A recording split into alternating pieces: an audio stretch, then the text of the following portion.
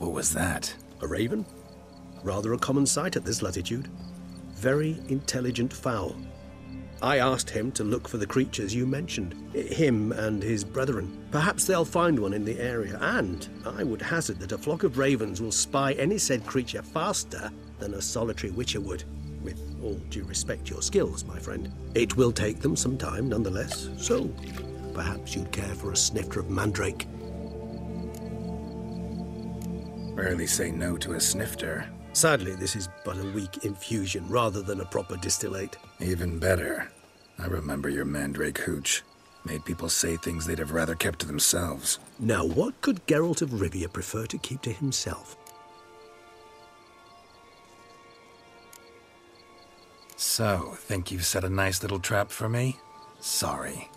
Want to get me to confess? Gonna have to try harder. I love a challenge.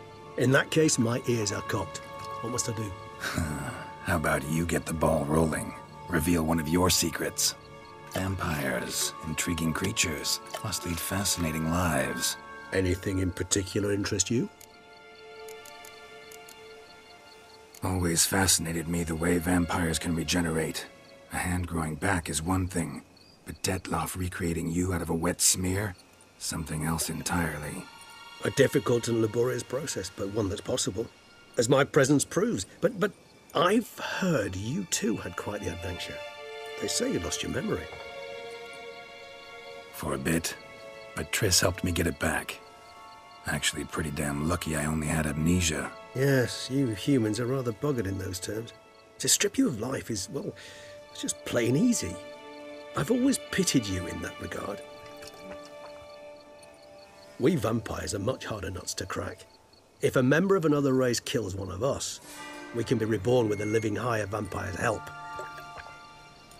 However, if one of our own strikes the deadly blow, death is permanent. There can be no rebirth. One of the chief reasons why vampires long ago swore never to fight one another. Got a new life, new body. That give you a new start? Blank slate? Starting all anew is a very broad concept. What exactly do you mean? Your blood addiction, say. Wondering if your body's the same, if it still remembers. Maybe if you drank now, you wouldn't get hooked. All addictions are a form of slavery. Re-addiction's not a risk I'm willing to take, just to test a hypothesis about corporeal regeneration and whether propensities carry over. Fair enough. Curiosity, that's all.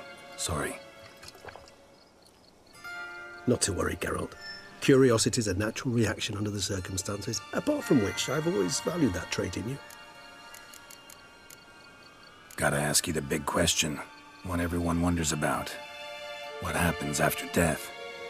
You wish me to tell you if the human belief in the gods is well founded? Well, that I do not know. We vampires differ exceedingly from you humans. Our matter, that of which we are composed, can exist without form. We require neither a heart, nor a brain, nor air to breathe. But were you dead? As humans understand death, yes. Feel anything? Understand anything? Hmm. It's rather hard to explain. I felt something very unsettling. Something I cannot even name, for I did no reasoning. Only after rebirth did I begin to understand that what I had felt was cold and unimaginable fear. If not for Dettlaff, I might have drowned in an eternity of icy terror. Can't have been alive then. Sheesh, experience like that must be vicious. Hmm. Indeed, it's it's hard to compare to anything I know. Yet you are aware we don't see death as you do. The way you cling to life, we find it entirely peculiar. You are mortals, ergo it's a foregone conclusion. You will die. It's but a question of time. Thus, I often find myself wondering why you try so very hard. To die at 20 years, 40, even 100, what's the difference? They're all but the blink of an eye. Depends on your point of view. Man who's got a million crowns to spend can't possibly understand one who's only got 20. Very true. One's outlook can indeed change much. Curious what you did after you were reborn. As I'm sure you can surmise, at first I was thoroughly absorbed with recovering. As it is, I've still not recovered completely. Yet I was so weak the first year that I could not stand nor move on my own. Dettlaff bore my weakness bravely, showed great patience. If not for him, I wouldn't be here, and I'd have regenerated far slower. Once I could at last stand unassisted, I set off for Bruges, for my one-time home of Dillingen.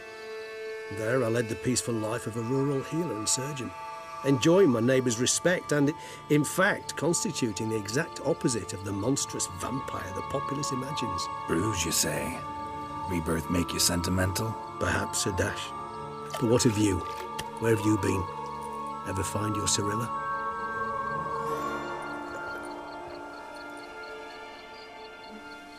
Back then, yeah. But we parted again soon after.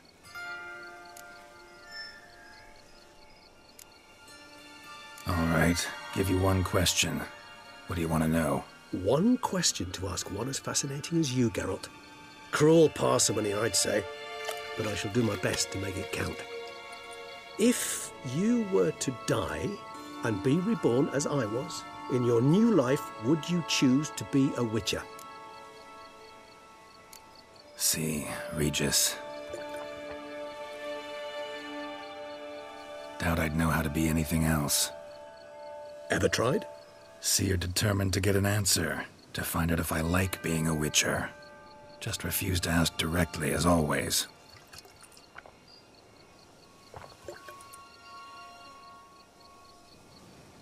I like being on the path. Like picking up a lead, a trail. I like the tension right before a fight. And nothing gets my adrenaline flowing like battling a beast. Even gotten used to people treating me like a freak, an outcast. Yeah, not something I think about much, but I like being a Witcher. Thank you for being honest. Honesty is an attribute of the truly brave, and thus a privilege of the very few. Still no sign of your winged friend. Sure it understood what you wanted? Dead certain. Let's wait a bit longer. It'll return soon, don't doubt that for a moment.